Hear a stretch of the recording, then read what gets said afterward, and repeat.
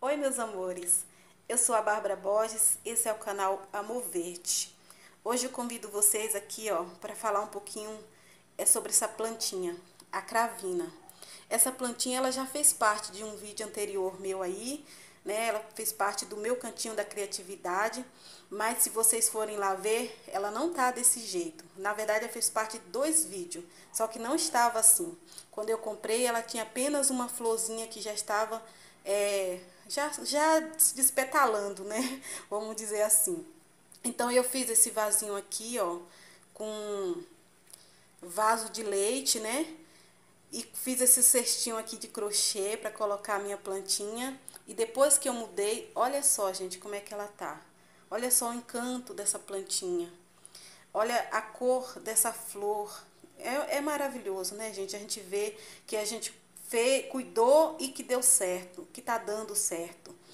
E assim, eu estou muito feliz. Por isso que eu estou aqui compartilhando com vocês. Porque assim, eu não, coloco, não coloquei nada de diferente ao fazer o transplante dela. Simples, simplesmente coloquei a terra normal e também assim umas casquinhas de ovos, ó, que eu gosto de colocar. Coloquei a casca do ovo e aí, olha só o resultado. Tá um encanto, né, gente? Essa plantinha, a cravina, ela é da família dos cravos, tá, gente? Ela é originária da Ásia e Europa. E assim, tem flores variadas, são várias cores. Eu gosto das cores assim, ó, as cores bem, bem forte, bem viva, né? Mas eu já vi também que tem umas branquinhas também.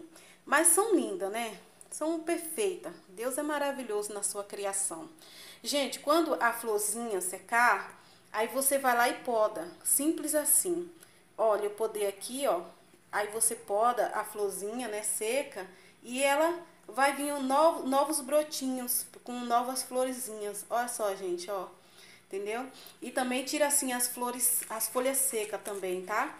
Tenta não, molhar aqui em cima, gente. Quando você for regar, rega aqui, ó, na terra, tá? E não deixa a terra dela seca, tá, gente? Sempre umidazinha. Eu mesma, gente, eu, nesse tempo de sol muito quente, eu não deixo ela o dia inteiro no sol, não. Principalmente agora que ela tá assim, ó, florida.